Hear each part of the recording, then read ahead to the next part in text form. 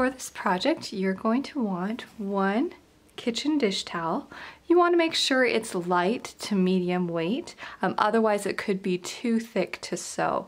For example, a bathroom hand towel is often too thick. You're also going to want some cotton fabric. For both of these, you're going to want to make sure that they've been washed and dried prior to starting your project. An apron is something that you're going to want to clean frequently and these fabrics can shrink in the wash and you wanna make sure that happens before you make your apron rather than after. After you've pre-washed your fabric, you need about a third of a yard of your fabric. You can also use, if you would like to, a lightweight fusible interfacing. When you're preparing your cotton fabric, make sure that you trim off the selvage. The selvage is this factory finish that comes on the edge of your fabric so that it doesn't fray. It often has different texture or consistency than the rest of the fabric. Sometimes it can even have little punctures or holes. So make sure you trim that off before you begin. If you would like to, you can also add a little bit of decorative lace or trim to the pocket of your apron. You can refer to the free cut layout on my website to help cut out your pieces. We're going to begin by constructing the pocket. For the pocket, you need two 6 by 9 inch rectangles. Make sure that these rectangles are nice and pressed. If you would like to, you can also cut a piece of fusible interfacing the same size. And let's start by applying the interfacing to the back of one of the pocket pieces. You're going to want to apply it to the back of the piece that you want to be in the front of the pocket. So head to your ironing board and place the fabric right side down on top of the ironing board. The interfacing goes right on top of it and you want to make sure that the rough side of the interfacing is touching the fabric. The rough side contains the glue. Mine's a little bit smaller so I'm just going to center it.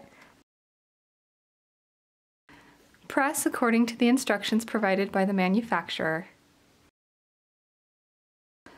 The next step is optional. If you would like to, you can add lace trim to the top of your pocket. To do this, you're going to place the trim right side down on top of your pocket. You're going to place it close to the seam allowance so that after you sew, when you flip it up, you'll see the lace edge.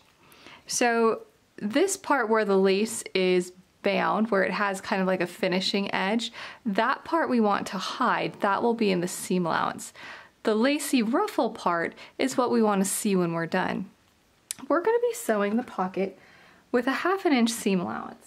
So I'm going to draw myself a guide on the top of my pocket. I'm using an air erase marker and I'm just going to draw a line a half an inch from the top edge. I know that this line is where my stitches are going to be. I'm also going to draw myself a mark a half an inch from each end because that will also be in the seam allowance. When I put my lace on the fabric, I want the bound edge to be above the line and the frilly part to be below the line. I also want to make sure that it stays within my side edge, so I'm going to place it about an eighth of an inch away from my little mark here.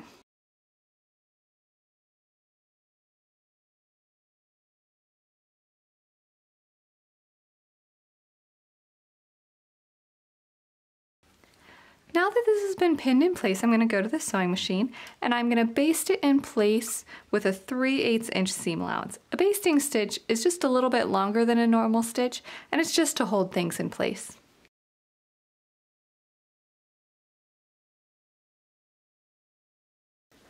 Once it's been stitched, I like to flip it over and give it a little press to help make sure it lays flat. I pressed from the wrong side just in case my lace could melt. Lay your pocket piece right side up. Take your second pocket piece and place it right side down on top of the first. Align the top edges and sides and pin in place.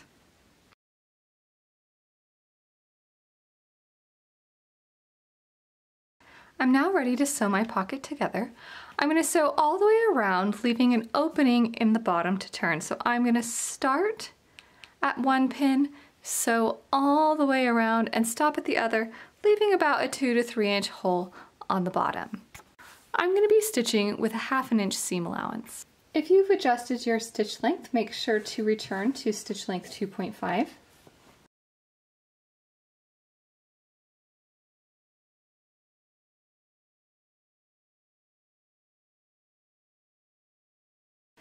Clip the four corners, take care not to cut your stitches. Turn the pocket right side out.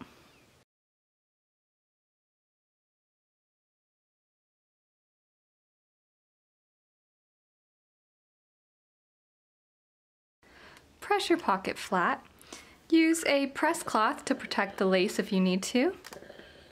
And make sure you tuck in the fabric at the opening so that it looks like it's been sewn. Lay your hand towel right side up. Identify the top and bottom edge. I like to make sure that the tag is on the bottom. The first thing you want to do is find the center of the top and bottom edge. I like to do this by folding the towel in half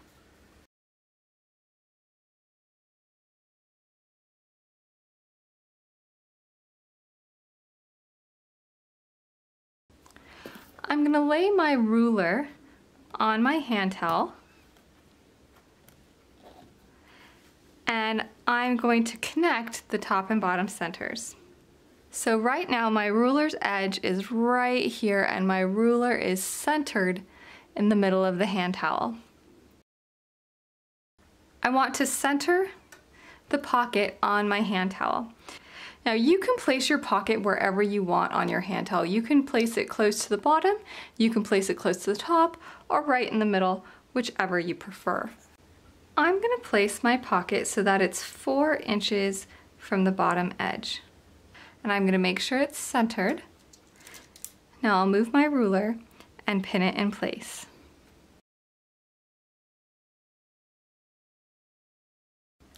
Now that my pocket's been placed where I like it, I'm ready to stitch it in place. I'm gonna sew down like a U around my pocket. I'm gonna use about an eighth of an inch seam allowance. Um, you can have your pocket be just one big pocket like this, or if you'd like to, you can divide it to make smaller pockets. Um, I like to make sure that my cell phone fits inside the pocket, but you can make it however big you want. I like to split my pocket exactly in half so I'm going to draw a line four inches down the center. And you can do this before you pin if you prefer. But this center line is where I'm going to do a pocket division. So after I sew around the U of the pocket, I'm going to stitch on the center to create a division. When I stitch my center line, I like to start at the bottom, go up to the top, turn, and then come back to the bottom. This will help reinforce the stitches and make it quite strong. You can also use a triple stitch if you prefer. So let's head to the sewing machine and get our pocket in place. Um, since this is terry cloth and it is just a little bit thicker, I'm gonna increase my stitch length to 3.5 when I sew this on.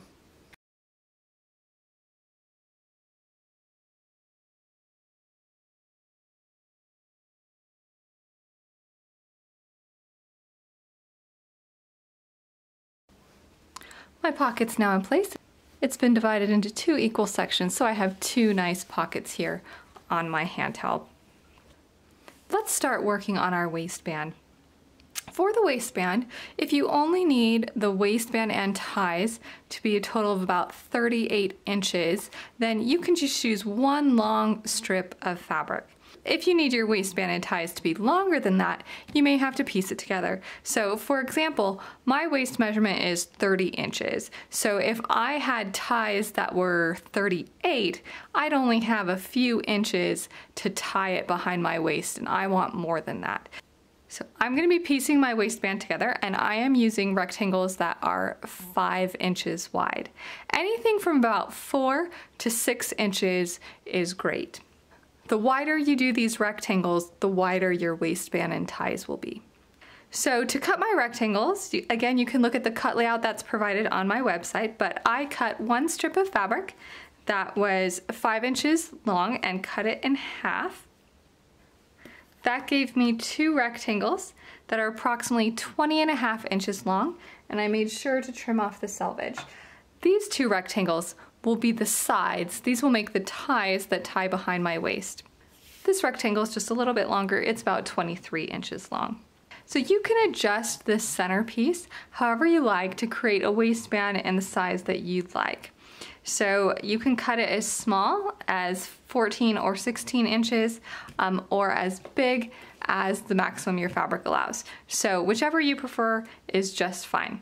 Take the piece that's gonna be the center of the part with the towel attached, make sure it's nice and flat, and we're gonna fuse some interfacing to the back of this rectangle.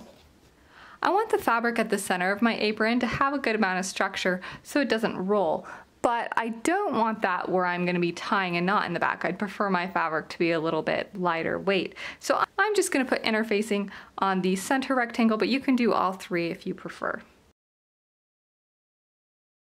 Lay your center rectangle right side up. Take one of your side rectangles and lay it right side down on top of it, aligning one of the edges. And pin in place. Move that rectangle out of the way and do the same on the other side with your other rectangle. Stitch the rectangles together on the two sides using a half an inch seam allowance. Press both seams open.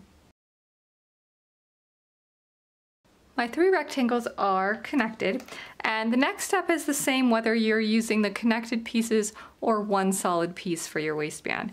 What I'm going to do is I'm going to draw myself a pressing guide. Along the bottom edge and along the top edge through the whole length of the waistband I'm going to draw myself a one inch guideline which will help me to create a half inch fold later. So I'm drawing a line one inch away from the edge along the bottom and the top. And I'm going to continue these lines all the way down. Next, I'm going to fold my fabric up to touch my line. And I'm going to press all the way down.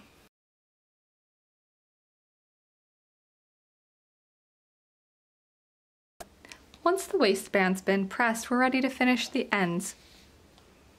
So on the end of the waistband, gently open up the folds you just made and turn the fabric right side together.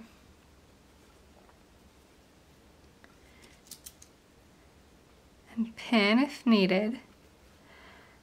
And we're gonna stitch along this short edge with a half an inch seam allowance. So just right here along this edge with a half an inch seam allowance. And then we're gonna do the same thing on the other end.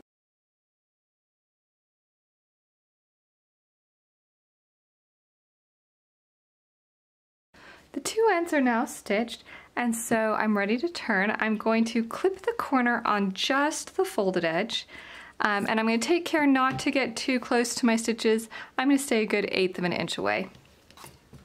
Same on the other fold. And then I'm going to take my seam allowance and I'm going to fold it open And then I'm gonna turn down the edge at the line I pressed before. And then I'm gonna poke out the corner. If you need to, you can use a turning tool to help get that corner nice and sharp.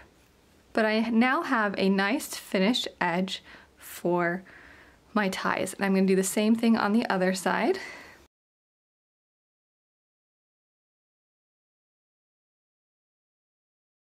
Next, when you're looking at your waistband, you want to find the center. So I'm gonna fold it in half. I'm gonna line up my two seams here. And I'm gonna find the center.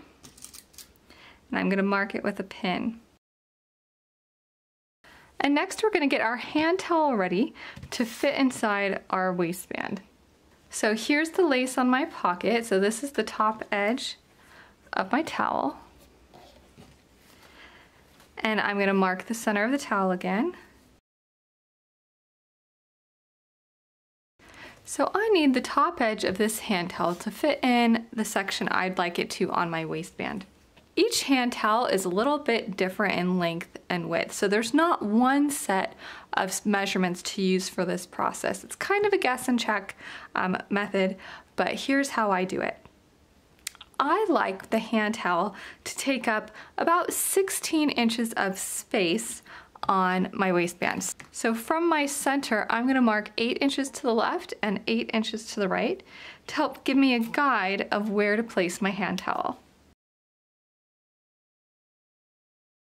From there, I'm gonna make pleats in the top of my hand towel to fit my towel within this section.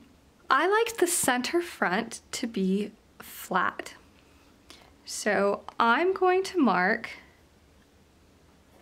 four inches from each side of the center. And I know I don't want any pleats in this section. Keeping about the center six to eight inches usually works pretty well. From there, you can kind of play with the size of your hand towel to figure out where you want your pleats. What you want to be careful of is you want to make sure that whatever you do on the left, you do on the right, because you want it to be equally balanced. It's also a good idea to try and keep your pleats about the same size, avoid any overlapping of the pleats, and try to keep it out of the end seam allowance if you can. I like to try first making guide marks, so let me show you what I mean. This is the pin marking the center of my towel. And this is the pin that's four inches away from that. To the right hand side of that pin, I'm gonna do markers that are one and three fourths inches apart. You can try two inches apart, you can try one and a half inches apart, and whichever works for you, so I found that for me on this size of towel, one and three fourths works pretty good. So from this pin, I'm gonna put a pin every one and three fourths inches.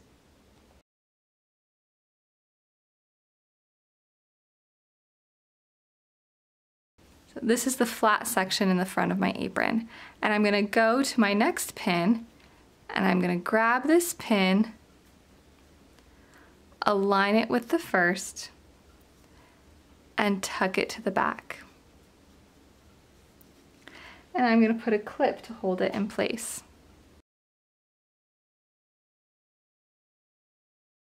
Then I'm going to skip the section that's right next to the pleat I just did. I'm going to go to the next two pins.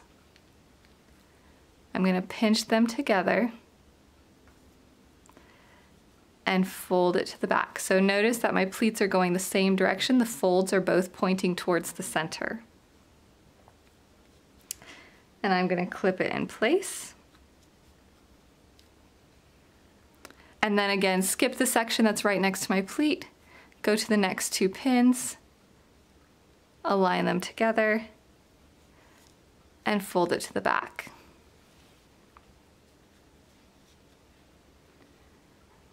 and clip in place. Now I can remove my pins. I'm keeping my center mark there.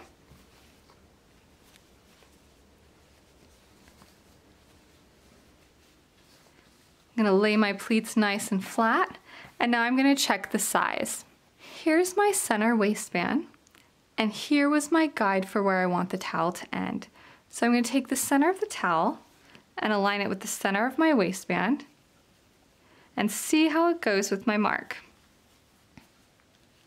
It's about an eighth of an inch inside my mark, which is really close to my goal, and so I think that worked out just perfect.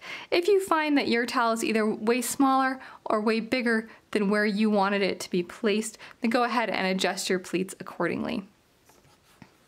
So let's do the same thing on the other side. Now you don't have to be this precise with your pleats. You can just fold them to what looks nice for you, but I do like to be kind of meticulous.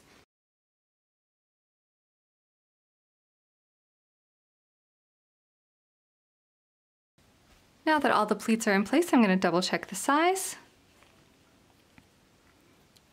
Yep, and it fits within my window. So I'm gonna go to the sewing machine and I'm gonna baste this in place with about a 3 8 inch seam allowance and I'm gonna increase my stitch length to about four or five.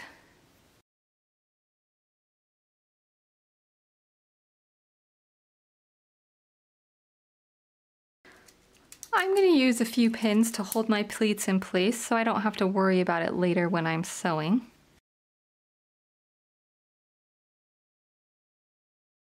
Make sure that the top where the pleats are is nice and flat. And let's attach the waistband. This is how I want the waistband to be placed when I am finished. Here is the top center of my apron, and here's the bottom center on my waistband. I'm gonna take the waistband and I'm gonna flip it down on top of the towel. And I'm going to gently open up this fold and I'm going to align the centers. And I'm going to pin this in place.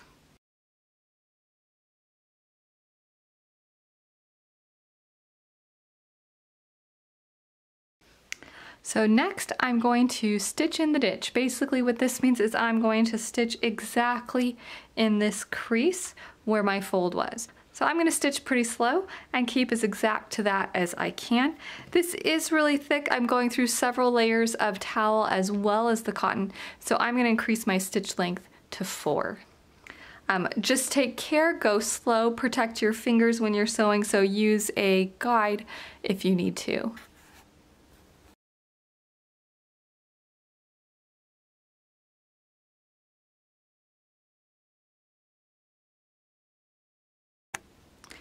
Now that the towel is attached to the waistband, we're gonna flip the waistband up and over towards the back. I'm gonna keep this fold in place and I'm gonna flip this up and over. And I want the fold to line up with the row of stitches that I just made. When I pin this in place, I'm not gonna poke it down through all the fabric and up through all the fabric because it's super thick and it would distort the shape. So I'm only going to insert the pin through the cotton on top and through a little bit of the terry cloth so that it still lays the way it's supposed to.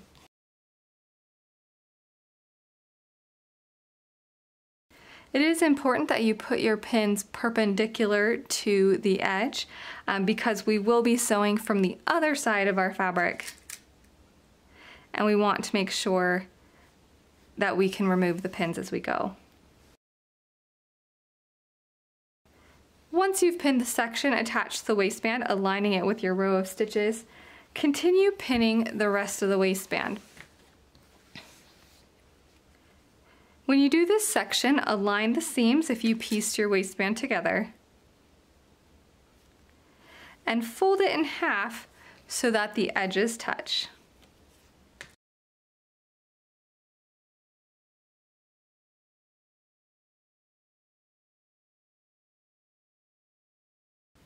That's all pinned in place and it looks nice and flat. So now I'm going to stitch along the bottom edge of the waistband all the way across from side to side. I'm going to stitch it in place with an eighth of an inch seam allowance. When I'm stitching the section on the waistband that's just the cotton fabric, I'm going to use a stitch length of 3.5. When I'm stitching on the section that includes the towel, I'm going to use a stitch mm-hmm. length of four. So when I get to the point right before and right after the towel, I'm going to stop to adjust my stitch length.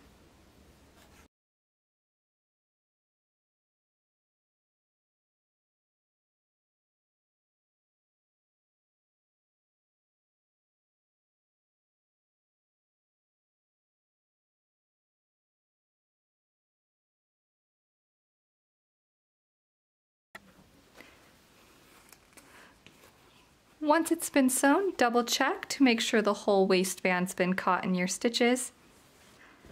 Then go to your ironing board and press.